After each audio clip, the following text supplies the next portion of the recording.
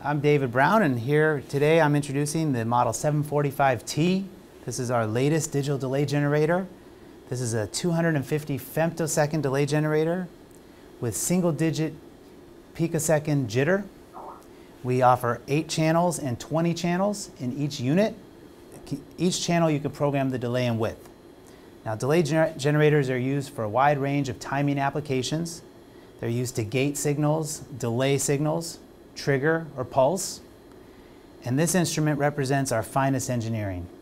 And we've been in this business for a while, over five decades. We are very excited about this new product. We've introduced a handsome front panel touchscreen for control. The front panel touchscreen allows quick setup of all channel parameters. Here I can set the delay, the width, the gate mode, and the trigger. For example, if I want to switch from an internal trigger to an external trigger, you see that internal trigger is turned off and now it's looking for an external signal. If I want to vary the amplitude, we can vary the amplitude in millivolts. Say we're going to go to, clear this out, and we'll go to 6 volts.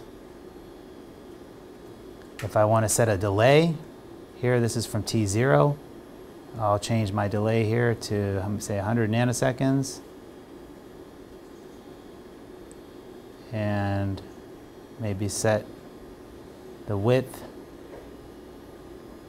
to from 400 nanoseconds, 40 nanoseconds, we'll change that to 50 nanoseconds.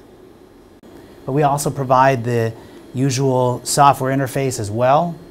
Uh, we have a LAN and an USB connection on the rear panel, and we give the user a wide range of automated programming capability too. Uh, we provide a LabVIEW driver if you choose to use LabVIEW to program the unit.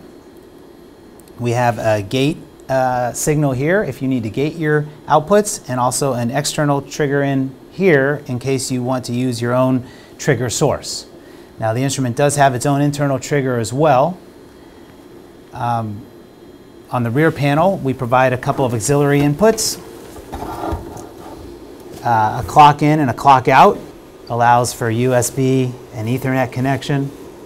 We also provide a T T0 output for synchronizing.